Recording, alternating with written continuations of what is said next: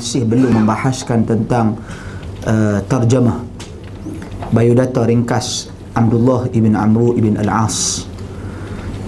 Tuan-tuan dan puan sekalian ringkas saja tentang Abdullah ibn Amru ibn Al-As merupakan anak kepada sahabat Nabi yang terkenal Amru ibn Al-As. Amru ibn Al-As. Beliau asalnya nama Al-As. Nama dia Al-As. Kemudian Nabi sallallahu alaihi wasallam tukarkan nama dia. Ha, qad ghayyara an-nabi sallallahu alaihi wasallam ismahu ila Abdullah Nabi sallallahu alaihi wasallam tukar nama dia jadi Abdullah. Okey. Jadi uh, nama dia Abdullah bin Amru ibn Al-As. Dan dia tuan-tuan dan puan sekalian diceritakan tentang dia ataupun uh, beliau terkenal dikenali sebagai perawi hadis yang terbanyak sebagaimana kata Abu Hurairah radhiyallahu an tentang beliau laisa ahadun min ashabi Rasulullah sallallahu alaihi wasallam akthar hadithan minni illa Abdullah. Tidak ada seorang pun daripada kalangan sahabat Nabi yang lebih banyak meriwayatkan hadis. Lebih banyak meriwayatkan hadis daripadaku kecuali Abdullah yakni Abdullah ibn Amru ibn Al-As innahu yaktub wa ana la aktub. Dia menulis sedang aku tidak menulis. Abu Hurairah ni dia hafal. Kan kita dah baca kan kisah bagaimana Nabi sallallahu alaihi wasallam hampa uh, uh, minta supaya uh, sesiapa yang hampar kain untuk Nabi sallallahu alaihi wasallam duduk maka dia akan mengingati setiap perkataan Nabi dan tidak akan lupa selama-lamanya. Jadi kekuatan yang ada pada Abu Hurairah radhiyallahu an adalah kekuatan hafalan.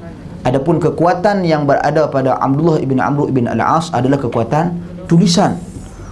Jadi seperti mana yang kita jelaskan dalam dalam pengertian hadis hadis sahih dalam sesi-sesi yang lalu ha, antara uh, syarat-syarat untuk memastikan sesuatu hadis itu sahih adalah babit ad-dabtu ad-dabtu yang merujuk kepada kekuatan hafalan atau kekuatan tulisan yakni dipercayai hafalannya atau dipercayai tulisannya. Sebab tu dipanggil dhabtus sadr wa dhabtul kitabah. Kuat hafalan di dadanya ataupun dipercayai tulisannya. Dhabtul kitabah. Jadi Abdullah bin Amr bin Al-As dia orang yang menulis. Tuan-tuan dan puan sekalian dan beliau terkenal juga merupakan seorang sahabat Nabi yang sangat banyak buat ibadat ha? dialah yang kisah bapa dia Amru ibn Al-As yang pergi mengadu dekat Nabi sallallahu alaihi wasallam. Anak dia mayang banyak sangat. Puasa banyak sangat.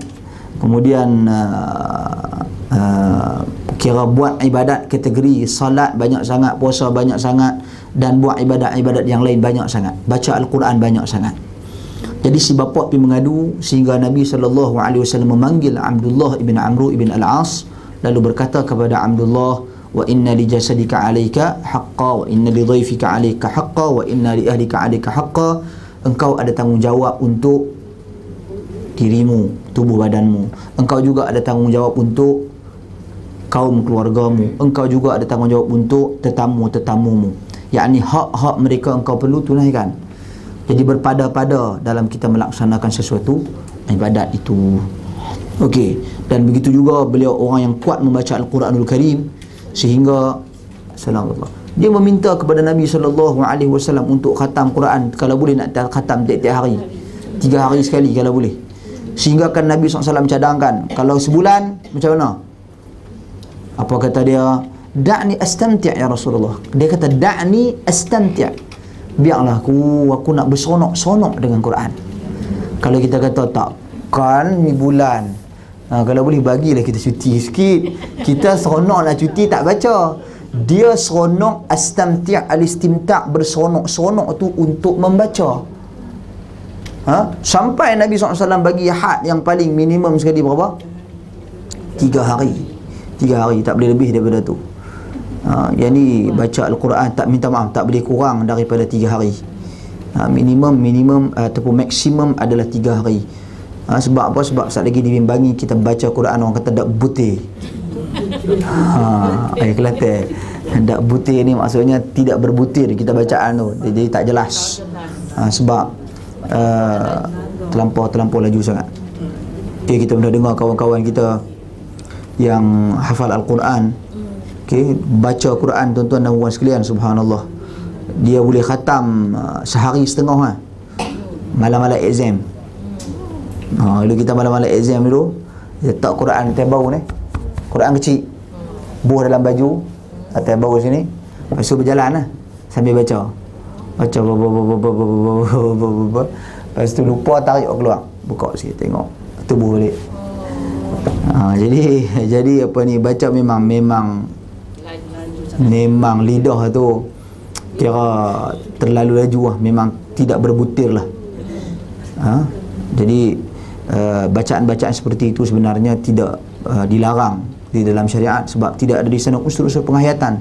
Bahkan Nabi SAW pun dengan Jibril AS tiap-tiap tahun khatam Al-Quran di bulan Ramadan Al-Mubarak bersama-sama dengan Jibril AS dan beliau Abdullah bin Amr bin Al-As wafat pada tahun 65 uh, Hijrah. 65 Hijrah ada pendapat sebagian daripada ahli ilmu kata 2 tahun sebelum itu 63 Hijrah dan sebagainya Okey